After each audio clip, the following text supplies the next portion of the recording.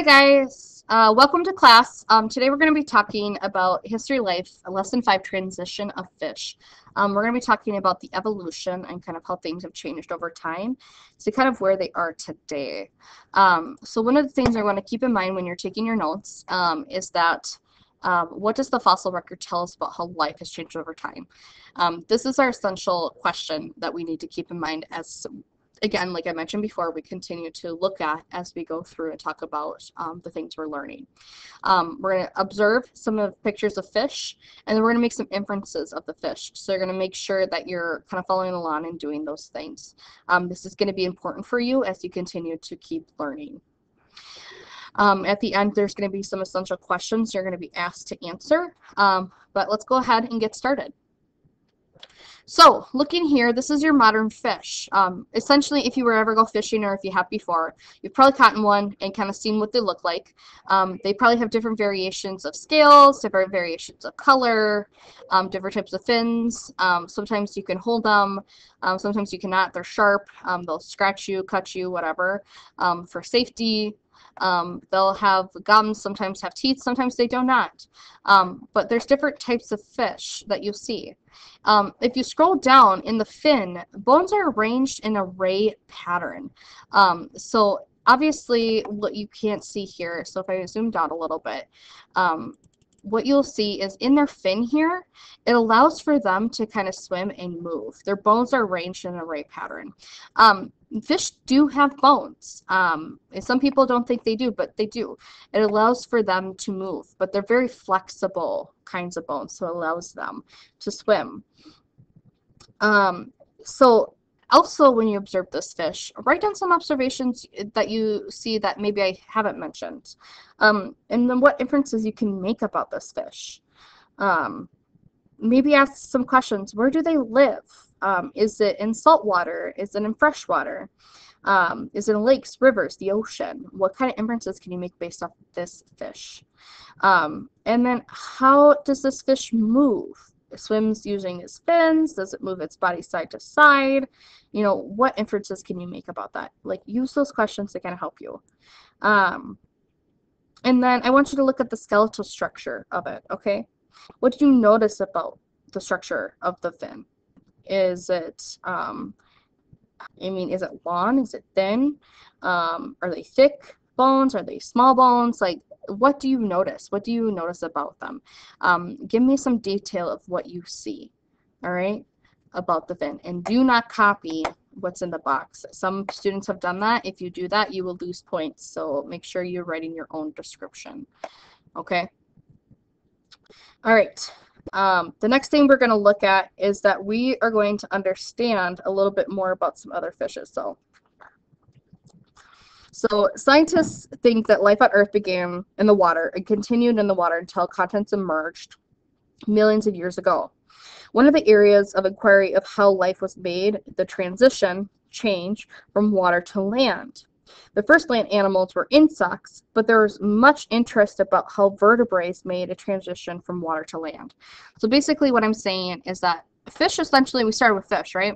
Um, we were in water, but eventually they made their way to land. So let's talk a little bit about that. So moving down here, um, in this picture here in this ecosystem, you can kind of see, you know, different type of fish, right? Um, this is the Devonian period, 419 to 359 million years ago. Um, this is kind of what we're talking about when we look at ecosystems. Um, you know, there's land up here, but there's fish, there's water, there's, you know, snails, you know, an ecosystem down here. You know, they have teeth. They're looking to try to eat something, obviously. Um, so obviously there's some changes. Um, there's different variations, um, and we're trying to understand how these vertebrae started the transition from water to land. So what would water-dwelling fish move onto land? Okay, so why would they? Um, it's a good question to ask us. Um, it would have caused some fish to develop legs and feet over the course of a million years. Um, these are some things you should be asking yourself. All right. And these are also some questions that you'll probably have on your answer sheet that you should be answering as well. So where can we look for evidence about how vertebrates made the transition from water to land, from fish to animal with legs? The answer is the fossil record. The fossil record allows us and tells us how life has changed over time. It tells us what we need to understand about history and maybe when these things existed. Okay, so that is essentially the main important thing. All right, the next thing we're going to do is look at the transitions, okay? So um, in your guys' books, what you have here on page 78 and 79 um, is transitions. Um, it talks a little bit about the fish we kind of just saw and the questions we're asking ourselves. So the first thing we are going to look at is the ancient lungfish. Um, one of the things I want to point out is that in your worksheets, you're going to be filling out a worksheet on the fish table, okay? You're going to need to make sure you are doing your time period, you're understanding the habitat, the length, and the fish, the fins and the limbs. You're going to be writing descriptions on these as we go through this. So if you need to come back and review this, you can. Um, but this is essentially the worksheet you're going to be filling out to make sure that you are staying on task and making sure you're getting your notes filled out. Um, so back to the transitions um, in the fish. Um, the ancient lungfish. The fossils are 390 million years old. Um, their defining characteristics, um, they're completely aquatic, meaning they did not go on land. They rely heavily, strictly in the water, and they're about 35 centimeters long. Um, that's actually not very long if you think about it for 35 centimeters. So if you were to take a ruler and to measure that out, that's not a very big fish. Um, this is kind of a the fossil of what we have found and kind of what we decided to call it. Um, a drawing of somebody um, and the model of what we think it may have looked like based off the fossils. Um, and then here's some bones. Um, the fin has one bone at the base of the fin. Um, and this is kind of what we see. And here is, this is the part of the fin here. So um, go ahead and um, jot down your notes. Um, if you need to pause this video at this moment, this is a good time to do so. Otherwise, we're going to keep moving on. All right, so um, understanding the ancient lungfish. Um, so uh, one of the things, uh, a question I want to ask is, what do you notice about the fins? Um, they're fat. Um, they're pretty large. Um, they're not like the fish we see and think of today. Um, the fins we see are pretty thin, actually, um, and they're kind of floppy and um, they're sharp sometimes. Um, in this picture, they look really big and fat and thick. so I'm sure it made it pretty hard to swim, but we don't know. and we know, again, it was completely aquatic, so the habitat was water. so that is something um, we want to understand about our lungfish. All right, so moving on um, to the next one is our next um, fish we see here. Um, the fossils are 308 million years old. I'm not even going to try to say the name because I'm not going to say it right. Um, go ahead and try if you like. Um, but essentially, the defining characteristics of this is it's, again, still completely aquatic. Um, they have a mix of amphibian and fish characteristics. Um, they're considered a, a lobe-finned fish and about 1.5 meters long. Um, what is one of the questions I want to ask you is how is this fish similar and different to the ancient lungfish? Well, they're both fish. The lungfish appears to be more like ray fins, um, and the heads are both roundish. Um, this fish in particular's eyes are higher on the head. Um, if you look right here, it's up here versus the lungfish, they're on the sides. Um, so it probably allows for more um, visibility. Now, what about the fin structures? How are they similar? How are they different?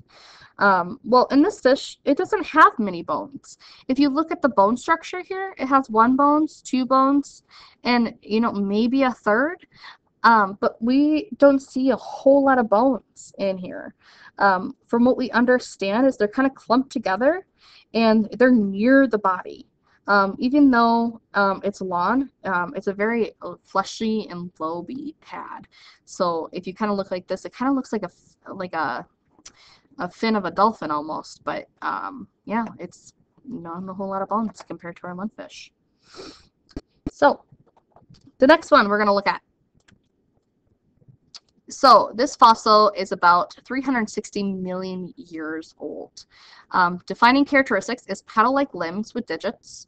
Um, it's the first true fingers and toes that we see um, on our fish and amphibians. Um, no defined wrists or ankles, um, but it's primarily aquatic, meaning that it's mostly meant for the water. Um, it's about 60 centimeters long, so still kind of small. Um, but what we notice in the bone structure is that it has like a paddle, um, one bone, two bone structures, um, plus its digits. Digits are kind of like our phalanges, our fingers and our toes. So that's what you see here is your digits. Um, so when did it live? Well, it lived about 360 Maya. Um, so million years ago is what that means. Maya, if I say that, it means a million years ago. Um, so how many years between, um, was it, is about 20 million years between the fish we just looked at. So 380 to 360. Um, so, and again, 20 million years is a really long time for things to evolve and change. So it, although it seems like a short time, it's really a long time. Um, so, but how are they similar and different?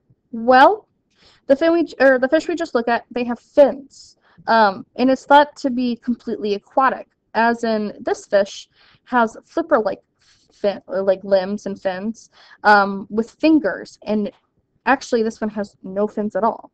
Um, its head seems to be kind of flattish, as you can kind of see, a very flat head. And the eyes are on the top. Um, and it has a very wide tail, as you see here. It's long and it's wide. Um, it may have left the water sometimes is to understanding, um, and that's why it has um, its toes and its legs and whatnot. This is the first known example that we call um, tetrapods. Means four and pod means foot or limb. So a tetrapod is a vertebrate organism with four limbs. Humans are also tetrapods, but we have four limbs and two arms, two legs. Um, this one had gills like a fish, and its limbs could not support the weight. So this is why we think maybe it was mainly in the water because it couldn't support the weight in order to be on land. All right, so the last thing we're going to talk about is the last fish here we see. So this one we called uh, Pteropus. Um, I totally said that wrong, um, but that's okay. Um, this one's about 350 million years old. So between the fish we just looked at and this one, this is about 10 million years of a difference. Um, so that's when it existed. Um, but what characteristics do you notice about this one? Um, well, it kind of looks maybe something you've seen in movies, actually. Um, it has true feet with fingers and toes.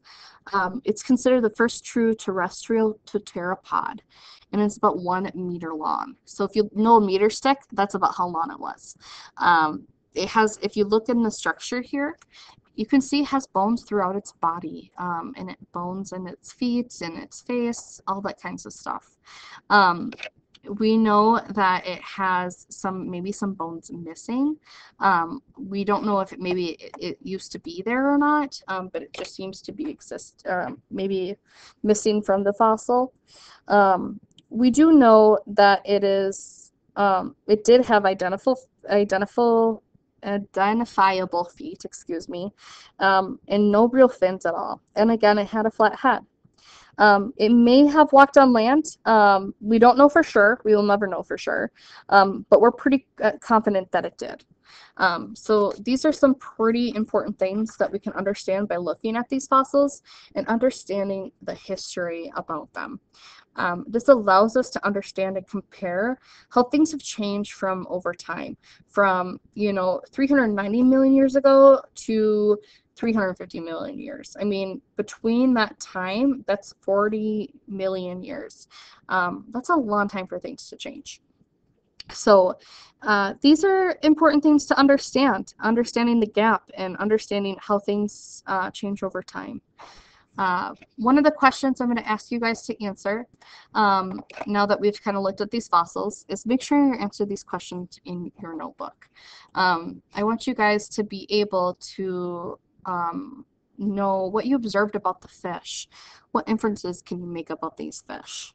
Um, why were they well-dwelling fish and how did they move to land? Why did they move to land?